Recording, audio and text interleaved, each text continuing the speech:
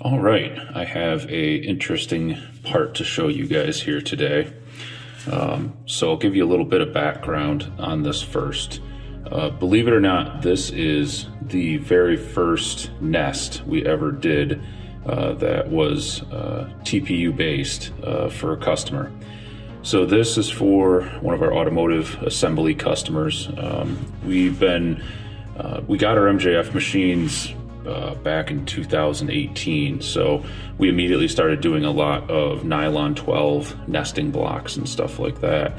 And pretty quickly, people started asking us, hey, you know, I have a chrome part, I have a painted part. Um, can you print me nesting for that? And what we found was the nylon had the potential to scratch parts of the Class A finish. So we said, well, let's look around, let's see what we can do. And uh, they had just started to bring TPU rubber out for the MJF machines.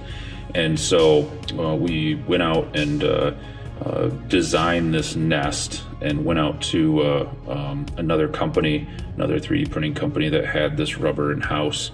And uh, we had them print this insert. So basically, the way this nest worked, um, it's a symmetrical nest. So it's for holding door handles. Basically, you could put a left hand or a right hand uh, door handle in this this TPU cup, and then you would set the the plastic uh, uh, base that the door handle sits in that mounts into the door itself over top of it, and then you would drive pins and, and install counterweights. You know, this is a pin pick uh, location right here, and there were eight of these nests on a big dial indicator table. So we went out, we had someone else print the TPU for us. Um, didn't turn out great. Uh, part was warped and and just didn't turn out well at all. And so that was actually what pushed us to bring uh, TPU in house uh, to do it ourselves because, you know, just like when we got into 3D printing, you know, we worked with other companies when we were just an engineering source, and you know, they just didn't know what we were trying to do, and they just they never produced good parts. So, you know, that's what initially got us to bring 3D printing in house, and that's what got us to bring MJF printing in house, and now on this job, it's what made us bring this TPU material in because we just couldn't find anyone that could do it the way we wanted it. So we figured, hey, if we're having this problem, I bet you other people are too.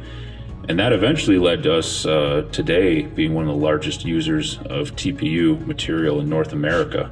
Um, you know, we use an absolute ton of it for nesting for Class A parts for our customers. Um, so this is really cool. This this nest actually, like I said, the first the first nest we ever did for a customer that had a TPU insert in it. And so this is from uh, around mid 2019 is when we delivered this nest, and uh, we went on to you know we, now we print you know we print hundreds of pieces of nesting a month now for customers.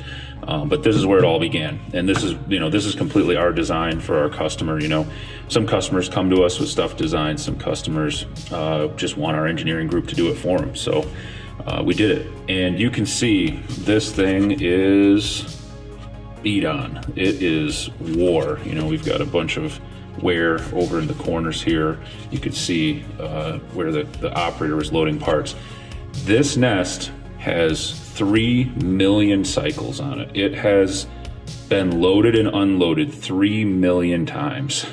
And that's why I, uh, when I heard that they were going to redo this machine, um, I immediately asked the customer, I said, hey, is there any way we could get this nesting back? I know you guys are going to do a new round of nesting for the changing geometries of the door handle. Can we get one of the old ones? And they were happy to give it back to us. So, um, you know, one of the things I want to show, you know, a question that we get from time to time, you know, how wear resistant is this material, especially the TPU?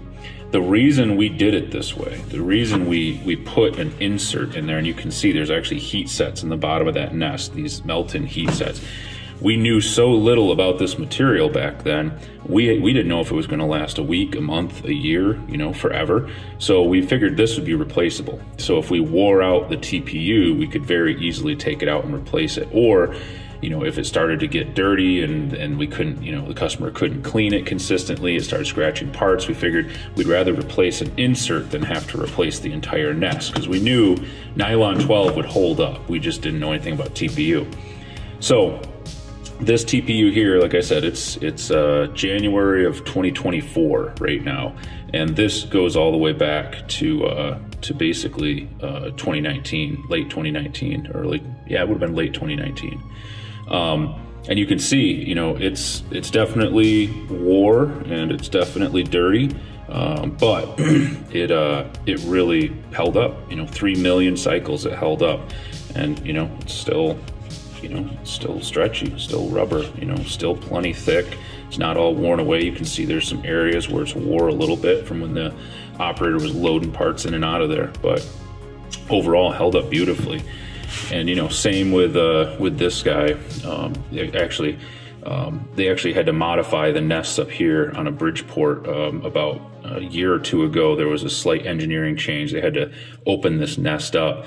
So you know, you can see this material, this nylon material, and even the TPU materials is machinable. You know, if you got to make edits to it, uh, you can chuck it up in a Bridgeport and go to town on it, cut it up. You know, this even has the honeycomb on the back side of it that we do to, you know, take mass out of these uh, these parts. And uh, you can see, you know, they broke through into the honeycomb a little bit right there, but it didn't affect the structural integrity at all. Still very strong and, you know, held up to probably another million cycles after they did that you know, you can see they've they've had a ton of wear in this area right here. You know, it, it just chewed that area. This one not as bad over here, but yeah, so I thought this was kind of a cool piece, you know, one of our original designed nests, one of our original nesting uh, projects that, you know, included uh, the first piece of TPU we ever did for nesting. So kind of a cool piece and you know it's always cool to be able to say hey you know this has got three million cycles on it. And you know the only reason they pulled it out of the machine was the the part geometry was changing and they had to replace it. Otherwise this would still be in there running uh, to this day. So kind of cool